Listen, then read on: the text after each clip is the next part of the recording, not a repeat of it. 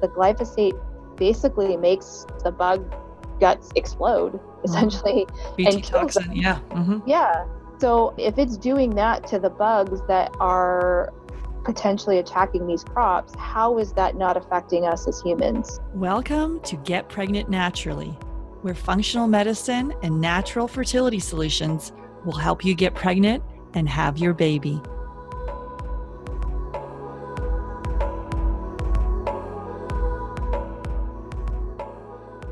Everybody, I'm Sarah Clark, and my mission is to inspire, motivate, and empower you. And most of all, I want you to wake up. So, with functional medicine, we can discover what causes infertility and eventually reverse this condition. Today, I'm welcoming back to the podcast Brandy Buskow. So excited to, to dig in today. And we're going to be talking about uh, why an elimination diet is essential when trying to conceive. And definitely go check out our episode number six for the Functional Medicine 101 talk. And we're going to talk about some of the tools that we use in our to help couples conceive in our couples coaching program. So, I'll just give you a quick bio on Brandy. So, Brandy is a functional diagnostic nutrition practitioner, certified transformational health coach, and EFT practitioner, so emotional freedom technique practitioner and she loves supporting women so they can learn how functional medicine addresses the underlying cause of disease or illness. before we jump into today's show, don't forget to hit the subscribe button on iTunes or wherever you're listening to this and make sure you never miss an episode. So, uh, with that, welcome to the back to the show, Brandy. Thanks, Sarah. Thanks for having me again. Awesome. Cool. So today we're going to be digging into elimination diet, which is uh, one of my favorite topics. So, really, I guess we'll kind of start with obviously people that we work with they present with us and it's mainly women that come to us even though with infertility 60% are 60% is uh, female and 40% is male factor. Typically, we work with unexplained infertility, high FSH, low AMH, premature ovarian failure, low ovarian reserve are kind of the, the main ones we work with. And we also work with women that have PCOS, fibroids, and endometriosis. For really in functional medicine, we don't treat the diagnosis, we look at the whole body. Anything you want to add to that, Brandy? Yeah, for sure. So everything that you just described is essentially you've gone to your doctor and your specialist, you've tried to get pregnant, and you haven't been able to, and they've diagnosed you with these specific things, but really it's not the diagnosis that's the problem. It's there's a whole bunch of underlying things that have led up to this specific diagnosis. And so when we work with people and we coach them using a functional approach, that's what we look at. We look at all of the underlying stressors or things that have gone on in your life that could have contributed to this specific diagnosis, and we help you work on all of those underlying factors. Yeah, absolutely. And really, even if you're presenting with infertility, there's other health issues. I, we, we have yet to see someone just come in with infertility. There's other health issues going on. So I'm going to list some of them here. So some of the ones that we that we typically see. So under the heading of digestive problems. So we see constipation, diarrhea, acid reflux, you know, even belch, burping, uh, gas. Those are all all signs. Anything you want to add in the digestive side of things, Brandy? No, and a lot of people think that these are common, and it's really a sign from your body that something is out of balance and something isn't right. So even if you occasionally have re- acid reflux or occasionally have bloating or constipation, these are signs that something is imbalanced. Exactly. And so then mood problems, we would be the next one. So things like anxiety, panic attacks, depression, ADHD. Definitely check out episode uh, number two. Brandy will, she, she goes through her personal story with, um, uh, she suffered from uh, anxiety for, for years and was able to then heal with the tools of functional medicine. Yeah, for sure. And unfortunately, this is something that we're seeing more and more these days is people, a lot of the people that come to us have some degree of what we would people would consider a mood problem. And it's just because we have so many things that are bombarding us these days that there's no wonder that we feel anxious or panicky or inattentive and inability to concentrate. I mean, there's just so much going on now that we didn't have to deal with before. Mm-hmm. Yeah, the standard Western diet and lifestyle. And then also there could be gut infections going on as well. Yeah so skin problems. So from for myself i had like this great skin through when you know as a teenager all of a sudden in my early 20s i started getting acne. So acne eczema which i had as a baby psoriasis. So those uh, dermatitis those skin rashes can be a clue uh, in functional medicine for us to, to you know to dig further. A lot of people uh, many people actually that come to see us they've even used accutane. So when they were they were younger as a teenage teenager they had horrible acne and they were given Accutane, which then can potentially mess with your microbiome or your your, your gut flora. Mm-hmm. And in some instances, and this was the case for myself, I was on tetracycline, which is an antibiotic, for two years straight to treat acne as a teenager. And that's something that's not very uncommon. And we now know that the use of antibiotics long term, I mean, even short term, causes a lot of problems with the gut and can cause food sensitivities and leaky gut and a whole host of symptoms. Mm-hmm. The next one we have is joint problems. So if you're having joint pain, muscle pain, arthritis, those are clues. Sometimes we think we're just, you know, we're stiff and it's normal to wake up feeling this way. Well, that's again your body's trying to tell you something. That's something we need to dig a little further. Mm-hmm. Mm-hmm. Yeah, like you said, occasionally we will have these things if we work out too hard. But if you're always waking up and you're really stiff, or you always have pain, again, it's a clue Uh, Sarah likes to say our body whispers to us by giving these, these little symptoms. And then after a while, when you stop listening and you don't hear those whispers, then you get a whole bunch of symptoms that create disease and you get a diagnosis. So it's important for us to kind of take a step back and look at all of these little minor things that we think is not a big deal and realize that these are clues that our body is giving us that something isn't right. Mm-hmm. They're all connected. It's a holistic approach. And the last one we have is autoimmune disease. So, multiple sclerosis, type 1 diabetes, celiac disease, which is the case for Brandy, rheumatoid arthritis, Hashimoto's, Graves, lupus. We see a lot of people that come to us that, that have thyroid issues and sometimes, yeah, uh, Hashimoto's. So, those are clues. For sure. And I mean, the, the diagnosis of an autoimmune disease, again, is the culmination of there was probably many years of symptoms that went unnoticed or undiagnosed that led up to the actual diagnosis of the disease. Mm-hmm. And you may have heard, you know, about leaky gut, and sometimes the the root cause of some of the complaints that we just mentioned is due to leaky leaky gut. So we'll have Brandy just kind of explain leaky gut a little bit to us. Sure. So this is a term that you know many people may have been hearing a lot recently, especially um, in functional medicine or alternative practitioners. And essentially, what leaky gut means is if we uh, imagine a cheesecloth, it's got little tiny holes in it, and if we imagine our gut as a cheesecloth, those tiny holes are a healthy gut that allow just the right amount of nutrients to pass through the gut wall as we're digesting them and into our body to be used as nutrition and repair and for all of the systems and, and activities that our body needs these nutrients for. But when we have a leaky gut, what happens is those holes get bigger and bigger and bigger. And so, like, we're poking these bigger holes in that cheesecloth. And so, larger particles of the foods that we're eating are passing through the gut wall. And because they're larger, the immune system doesn't recognize them and it thinks that it's an, it's an invader. And the immune system gets on high alert and starts attacking it and creates a cascade of symptoms like inflammation, um, and then we start getting the symptoms like we just read uh, digestive, mood problems, skin issues, joint issues. And so there are many things that can lead to leaky gut. Stress is the number one thing, and we all have stress in, in our lives. So, an overabundance of stress, whether it's mental, emotional stress, physical stress, like you've had a car accident, environmental stress, so the toxins that we're exposed to in our environment. It could be um, stress like insulin being high all the time. So if you're eating a lot of carbohydrates and your blood sugar is going up and down constantly, that is a stress on the body. The foods that you're eating. So if you're eating foods that your body is just innately sensitive to, that is a stress as well. And so all of these things when combined together over a prolonged period of time can lead to a leaky gut and then we start to start to have symptoms and the symptoms if they're not rectified and we don't start healing the gut we start then getting to the point where the symptoms are so severe that we get diagnosed with a disease. Mm-hmm. Yeah, so with mental, emotional stress, the physical stress, obviously, or structural stress. Sometimes you could have something in your body that's out of aligned, out of alignment. Uh, the environmental toxins, which and we always suggest people to, to switch over to personal to, to look at their personal care and their, their cleaning supplies and switch to more uh, natural options. As you said, insulin. So those are some underlying cause. And what about, um, we always recommend everyone to look at 100% organic, switch that, make sure you're not having any uh, GMOs. But what about glyphosate, which is a herbicide used, which is sort of uh, Roundup? What yeah. is is a herbicide used? What about the connection with that with leaky gut?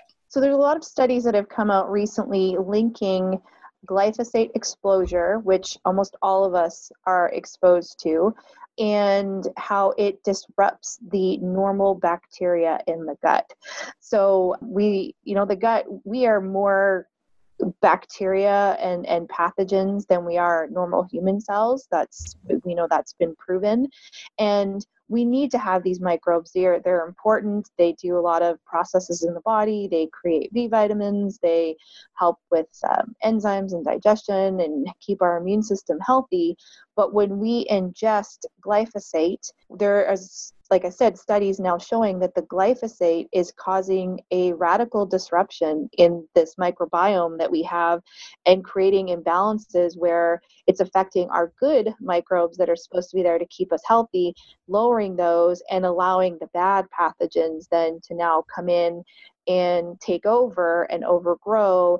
And that's where we start getting things like parasites or um, pathogenic bacterial infections, which then lead to leaky gut and symptoms. And so, although you'll see some things out there that Monsanto, who creates Roundup and glyphosate, they say they've done studies and they've showed that it is safe the, the fact is we're starting to see now that it indeed isn't and it is creating an issue. And the purpose of glyphosate really if you if you look at the purpose of it is they created these genetically modified crops that they could spray with glyphosate so that when the pests or the or the insects that were attacking the crops when they ingest it or ingest any part of the plant the glyphosate basically makes the bug guts explode mm-hmm. essentially mm-hmm. endotoxin, yeah. Mm-hmm. Yeah. So I mean, if it's doing that to the bugs that are potentially attacking these crops, how is that not affecting us as humans? Yeah, um, why, yeah. Why do you think we have the the digestive issues are on the rise? If it's exploding the bugs' intestines, what is it doing to our our digestive system? Exactly. And so i think we're we're at a point where you know people are starting to become more aware of it. The non-gmo movement has been really strong in the past few years. And i mean and ideally everybody would be having organic produce and and grass fed grass finished meats and beef and pastured pastured pork. And i mean we realize that that's not necessary for everyone but there definitely is a list of the top crops that are definitely genetically modified and are sprayed with pesticides. And the best resource that we can provide is the environmental working group. So every year they come out with a list of their clean 15 and the dirty dozen and so they'll list on that little infographic. You can go on their website and even print out a little card that you can keep in your wallet when you go to the grocery store. But they will list which fruits and vegetables are the safest and have the least amount of pesticides, and which vegetables, if you're going to buy them, it's very, very important that you buy them organic. Yeah, definitely. Uh, check out episode number 17. So I interview uh, Zen Honeycutt. She's from the um, uh, Moms Across America. So she has been featured on network television as well as she's been lobbying and sort of really an activist uh, to, to get the word out about how, how, um, bad glyphosate is for our, our body and really you know spreading that message. So check out episode 17 and we really talking about how important it is to switch from organic for preconception health and really the health of your your children. When i she has a personal story whenever i hear it when she i've heard it a couple of times when she tells it it's just it brings me to tears every time. So definitely check out episode 17 on that and you can kind of dig more into the of why it's important to go organic and, and non GMO. And yeah, check out the environmental working group. You can go to ewg.org. And yeah, they just released that, the list. And I think strawberries top the list as being like so bad. Mm-hmm. If you're going to have strawberries, please, please, please get, you know, m- make sure you get organic. They are just loaded with pesticides. For sure. And one rule of thumb that also is helpful if you're thinking about it if a fruit or a vegetable does not have a thick outer skin, then you're going to imagine that if it's being sprayed with anything, it's going to easily absorb that spray. And so things like you said strawberries and greens and leafy greens those are easily going to ex- eh, absorb the toxins and so you definitely want to go with organic whenever possible. Mm-hmm, absolutely. Yeah so really in, in our, our couples coaching program so that's a six month program where we work with couples to, to help and kind of make this you know using functional testing using mindset shifts and looking at diet and lifestyle. One of the first places we start after they, we have them do a food sensitivity test is we have them do an, do an elimination diet because really while while we wait for the results of the elimination diet sorry while we wait wait for the results of the the food sensitivity we want to have them experience what it's like to remove these top allergens from your from your diet and see how good you can feel because sometimes you don't know how poorly you are feeling until you feel freaking awesome. So the elimination diet and that's and food affects, you know, you and I, Brandy and I like differently. So it's important to go through the, the steps because we've had people get a food sensitivity test and kind of go, oh, great, I'm, I can not have any of that stuff. And then it it's, sometimes can just be a little overwhelming, even though we do recommend that as part of it. So we like to start with the elimination diet and we'll take you through here so really it's it's taking out specific foods and we'll we'll let you know what those are and then you gradually reintroduce them take the foods out for 10 days and then you gradually reintroduce them over the course of 30 days so, and Brandy, do you have anything to say before we, we go forward on that? No, so the reason it's important that we do um, a food elimination diet is, like you, Sarah said, if you don't take something out of your diet, you have no way of knowing how it was affecting you. And I've often gotten the question, you know, I took this food out and I reintroduced it, and I really didn't feel anything. But one of the things to keep in mind, especially for the more common foods that are people are sensitive to, or the more common foods that are genetically modified, that even if you take it out, and although you may not feel a negative reaction, there's no way for us to be able to feel the internal inflammation that could be going on over a period of time.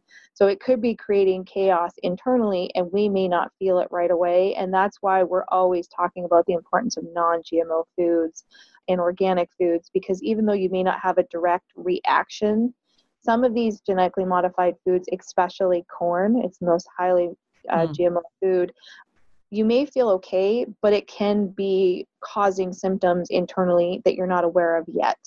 Mm-hmm. That's something to keep in mind.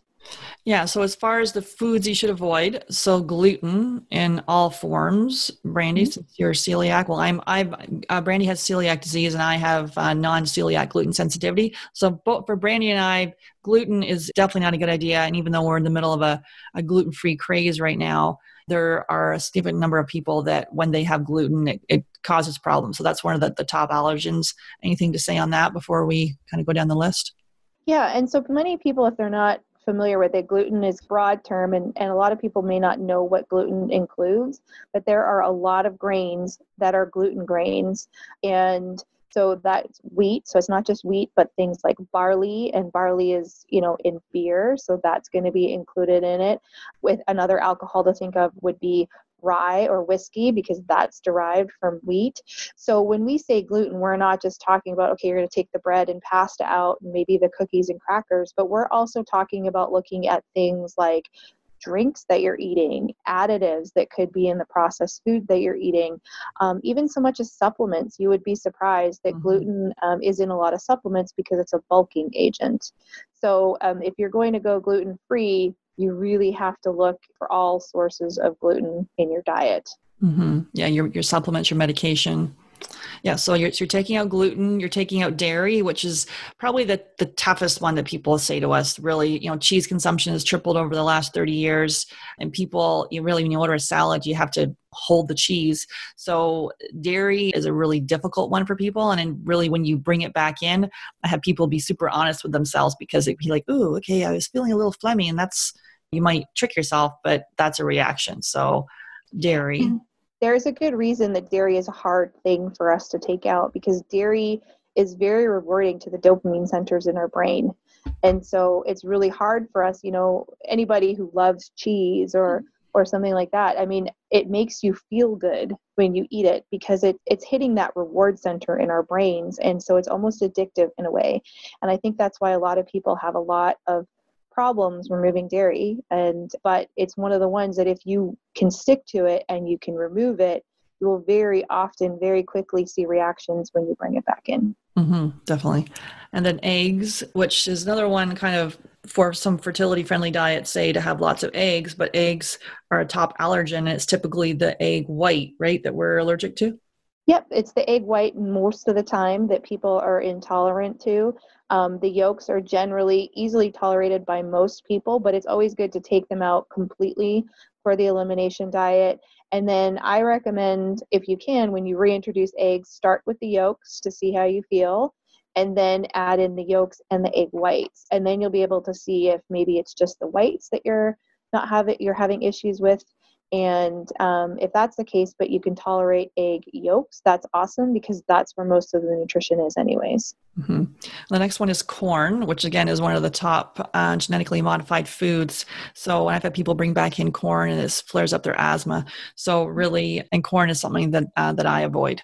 Yep, for sure 100% corn. yeah and then peanuts is another one that we have you take out and then the fall the last one is soy so there was a huge when people you know switched away from non-dairy milk, sorry from dairy milk, they went to a lot of soy milk, which then can have phytoestrogens, and then that can play with your hormones and cause and then also cause um, intolerance. Anything you wanted to say about soy? Yeah, and soy is actually very genetically modified as well. Mm. There are, if you can tolerate it, there are some instances where soy can be okay and that would definitely be organic fermented soy. Right. and that's really how soy is meant to be eaten. If you look at um, people in asia when they eat soy they kind of use it as a condiment and they use it in a fermented form and they don't eat it at every meal. They're not having soy crisps and soy milk and tofu and mm-hmm. with everything they eat. It's just a light condiment that they bring in and it's usually organic and fermented yeah, something like miso. It's good.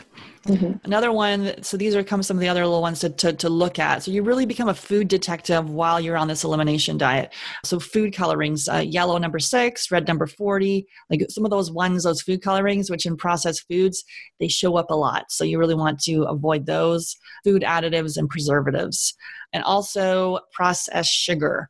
So that is not on the elimination diet as well. So you're taking out processed sugar. So you can, you know, swap in some maple syrup or some um, organic honey. So it's not like you won't have any any sweet treats unless you do have an insulin issue going on. Then you probably want to look at um, an organic stevia or xylitol or is it monk fruit? What were some monk other fruit. ones? Yeah. yeah. And sugar, like you said, there's the two reasons. One of them is the blood sugar issue. We don't want to be having a whole ton of sugar and causing our blood sugar to go up and down constantly throughout the day. But sugar, conventional sugar, is actually very highly processed and it's genetically modified. So, two reasons why eliminating processed sugar as much as possible is going to be important. Yeah, so those sugar beets, again, you've got uh, genetically modified. So, some of the, the top genetically modified foods, so we have corn, like we talked about, soy, we talked about the sugar beets, canola oil, which is in a lot of kind of chips and those sort of things, cottonseed oil, alfalfa, zucchini, yellow squash, papaya from China and Hawaii. Make sure you choose organic there. And also, you want to make sure you avoid artificial sweeteners because those can create anxiety and have difficulty sleeping, and you really want to avoid those. Anything on the artificial sweeteners? Yeah, so I mean, they are like you said, they they're they're neuroexcitatory, so they do have an effect on the brain. They're also very disrupting to the gut microbiome and, and your gut. So things like Splenda or um, sucralose, so that is another name for Splenda, and it's in a lot of low carb foods or sugar free foods, and things like sweet and low. Those are actually shown to cause issues with the gut and in fact, um, there are some of these low carb sweeteners that, even though they're no calorie, they do have an effect on your blood sugar and your insulin. So it's really important to, to watch out for those. And if you are going to stick to something that's non nutritive or zero calorie or artificial sweetener, um, like Sarah said, Splenda is a great option. Uh, monk fruit and erythritol would be another one that I would recommend. But if you have issues with gas and bloating, you may find that monk fruit and erythritol cause that to be worse. So you have to do a little bit of experimenting. And then again, some of the natural sweeteners are okay in moderation. So things like raw honey, maple syrup, um, those, and even dates. There's a lot of things like date sugars out there, which you can use as an alternative. But again, moderation is important. Yeah, I think you inadvertently said Splenda, so it's stevia that is recommended. Splenda is not recommended. right. Sorry, stevia. You are correct. Yes. yeah. Um, and really high fructose corn syrup. Stay away from that stuff because that is not good. And okay. that's in everything in the yes. US. So you really have to be good at reading your labels, and it's in things from ketchups to salad dressings to you barbecue sauce. Yeah, barbecue it's, sauce. It's in everything. Mm-hmm, mm-hmm. So you may be saying, okay, wait a minute, that's a lot of stuff. What am I going to eat? Really, it's almost like just to look at you know shopping the periphery of the the gro- grocery store. If it's it's kind of by that um, Michael Pollan, it's Pollan or Poland. I always want to say his name wrong, but Pollan, yeah, from the food food rules. You know, if your great grandmother is like, "What is that?" You don't want to eat it. So really, you know, what will you eat? So we're looking at grass fed meat, wild caught fish, organic poultry. You can, you know, looking at fruits, you want berries and green apples, so low glycemic fruits. Lots of veggies, lots of green vegetables, kale and collard greens, um, Swiss chard, organic rice, uh, legumes, except you don't want to do peanuts, nuts and seeds, and any of those non gluten grains like millet or quinoa or, or uh, amaranth. Yep. So essentially, basically, you know, plants and meats and the back to the basics and anything that doesn't come in a box or has a nutrition label on it you know you're you're probably good to go with those. Mm-hmm, mm-hmm. yeah so then the next part of the phase is so basically you're taking those all those foods out for 10 days. And then just know in the beginning when you take it out probably for the first three or four days don't plan anything too strenuous. You could have withdrawal symptoms. You could feel headachy and fatiguey and uh, are sort of fatigued. So you may not feel that great. So just kind of be aware of that but really kind of and we'll, we'll go into a little bit about some uh, detox reactions a little bit later. But as far as the food challenge so you take it out for 10 days and then you systematically begin to reintroduce it. So and there's a, a protocol here where you the order of re, uh, reintrodu- reintroduction. So you bring back corn in first and you want to make sure that it's organic and non-gmo and you're having it three times a day.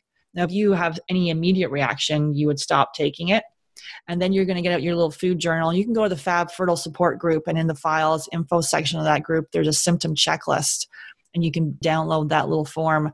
And and so if if you bring back in corn you're like ooh my digestion goes funny or wait a minute i have some gas or some burping or my mood goes funny. You know there's all those symptoms are on this checklist.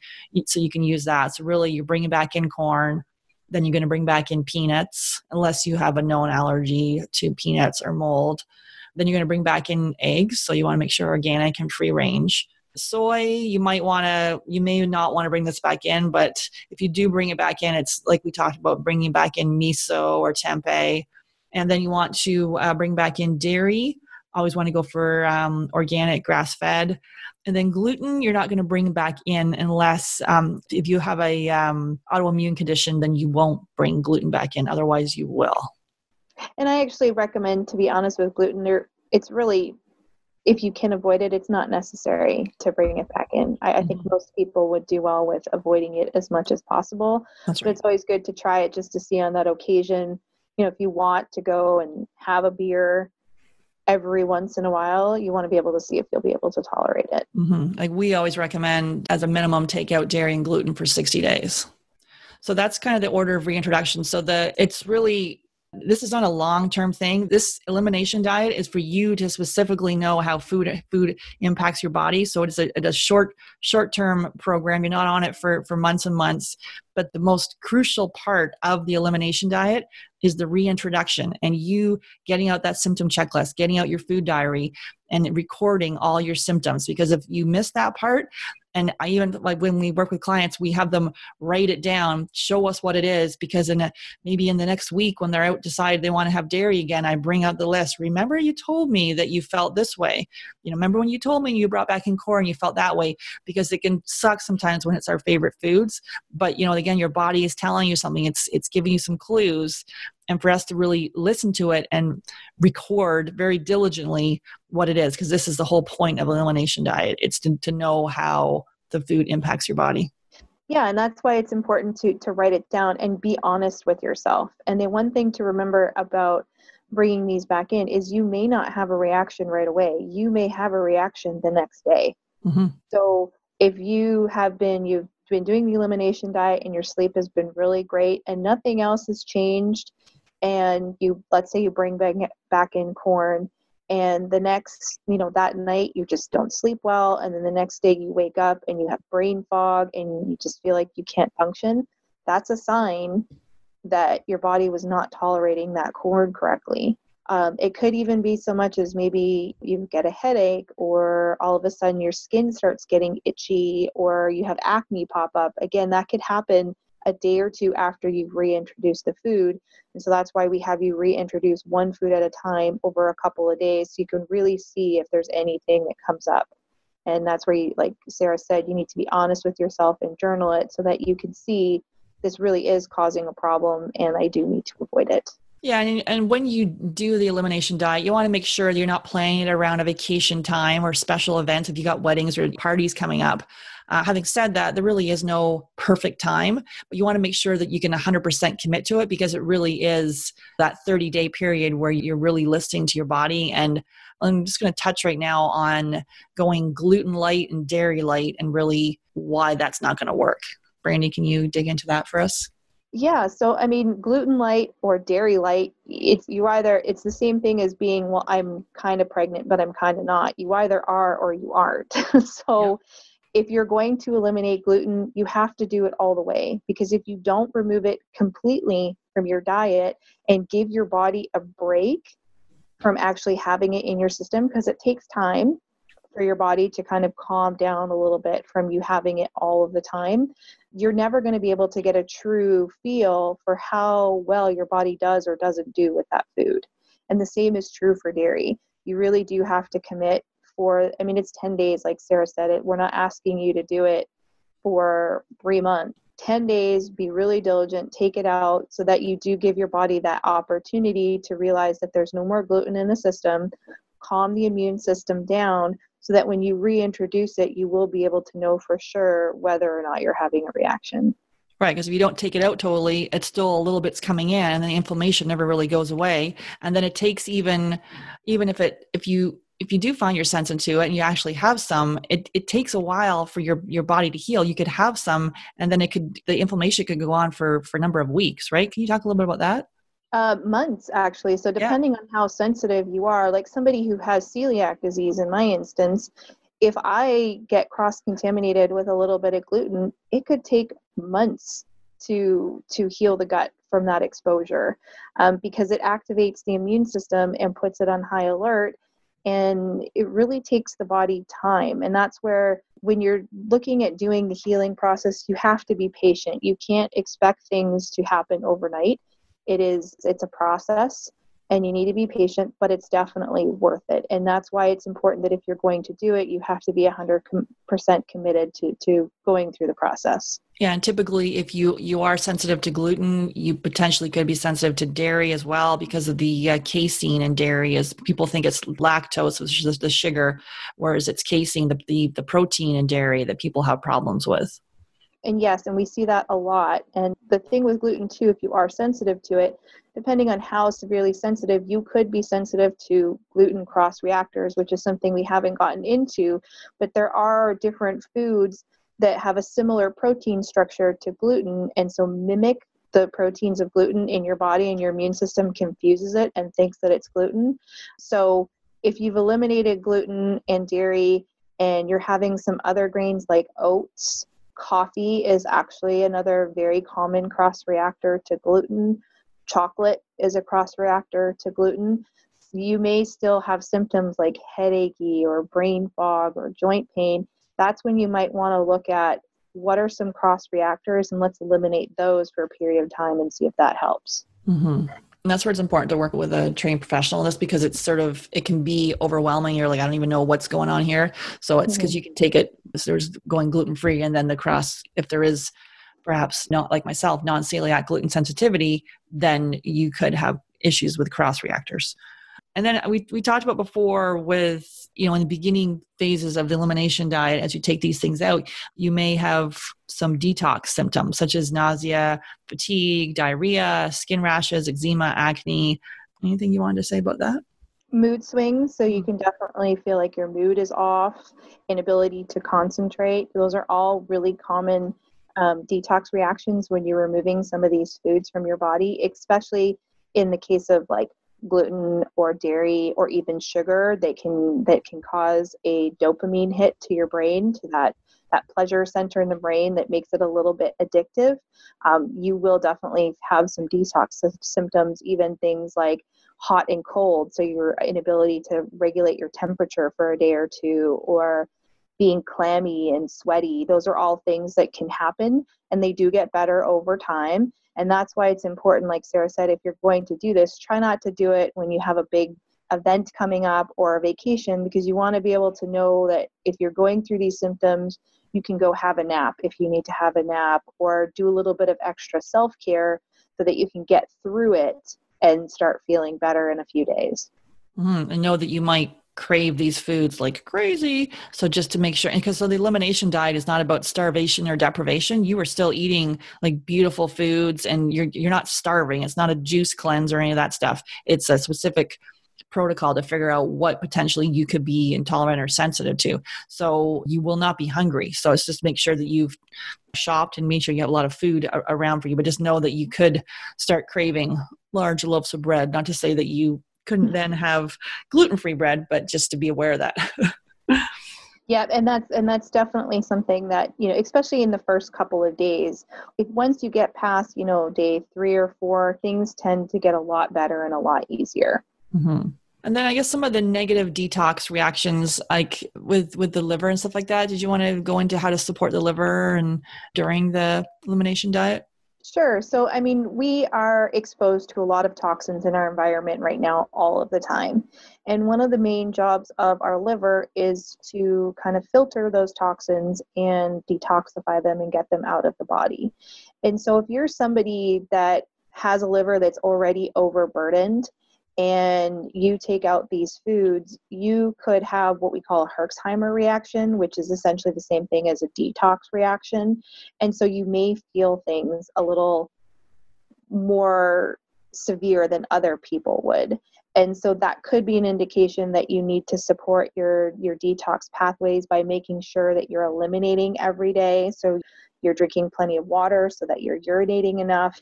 You want to make sure that you're not constipated. You definitely want to make sure that you're having bowel movements every day because if that's not happening, it's kind of building up the toxins in your body and you're going to feel worse. And then some other things that you can do to support detoxification is things like Epsom salt baths, dry skin brushing, um, things like dandelion and bitter greens. So you can either do a dandelion tea or you could do dandelion greens. Those are kind of a bitter green. There's some other bitter greens that would work as well.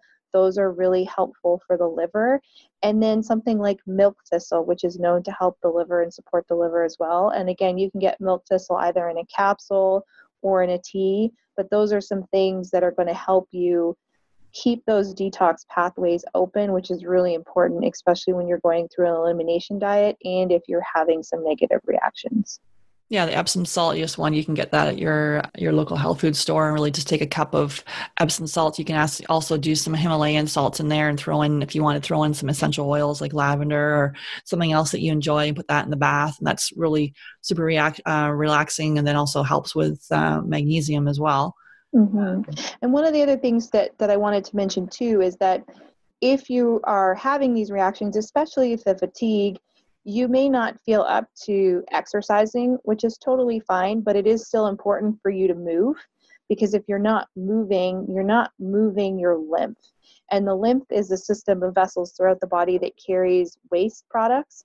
And so it doesn't have a heart like our circulatory system does for our blood to pump it. So we have to be moving to move that lymph. And that's why dry skin brushing is very helpful, but walking is also very lymphatic. So if you only have the energy just to go out and do a walk, that's fine. It, it's it's actually probably a really good idea to to do that because you're getting the fresh air, you're moving your lymph, and you're kind of helping things move along.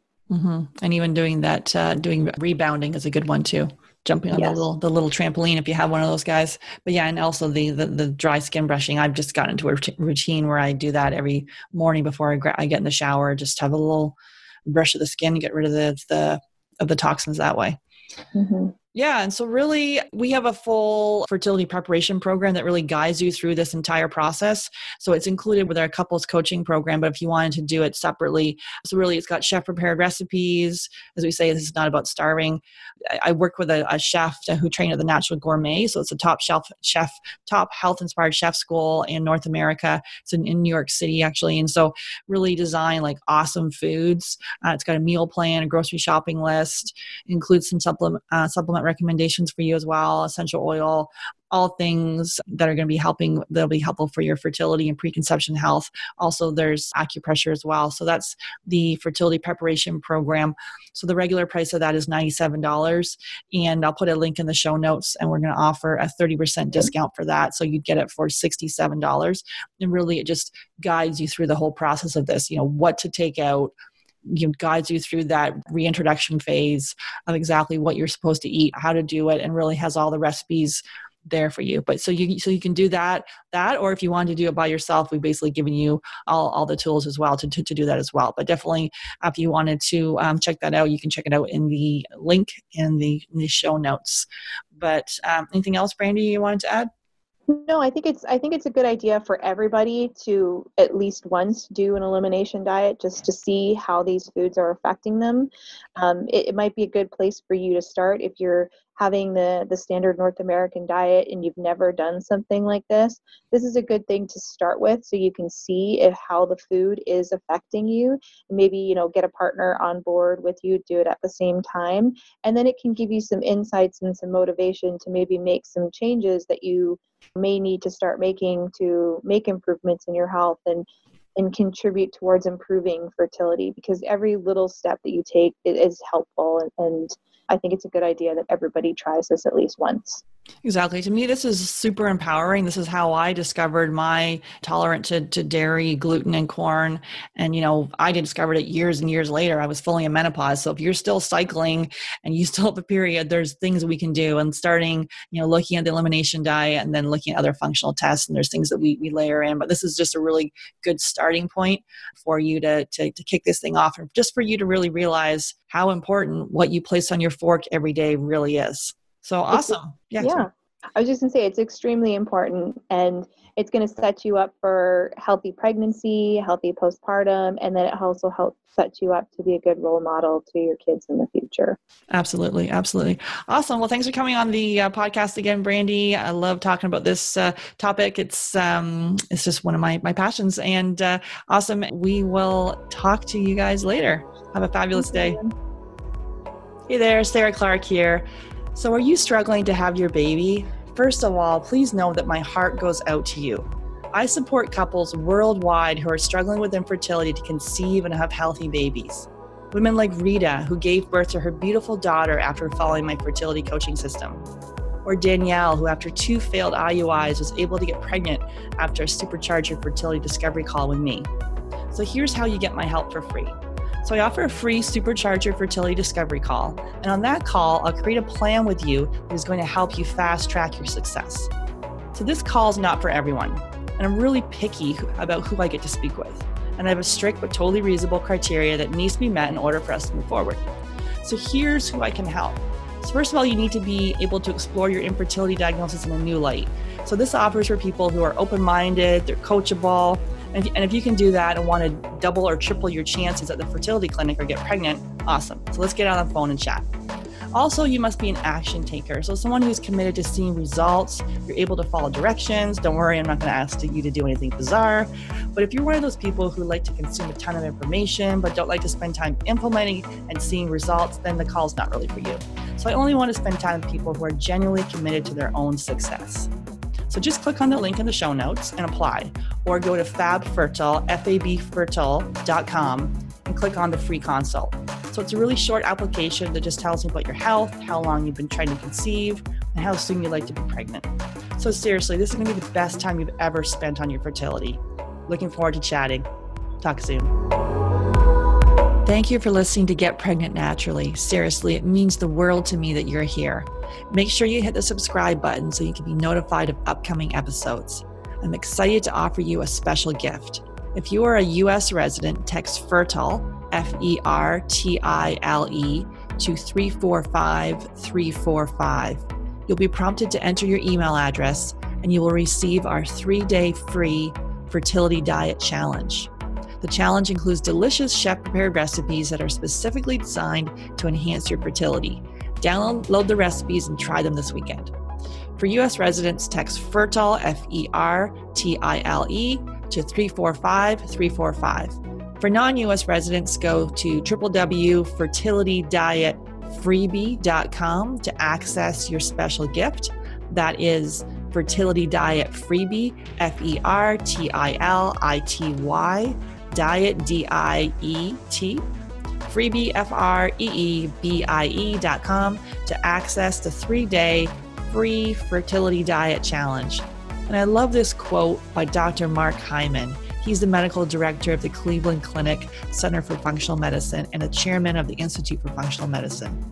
What you find at the end of your fork is more powerful than anything you'll find at the bottom of a pill bottle. Thanks again for listening. Until next time.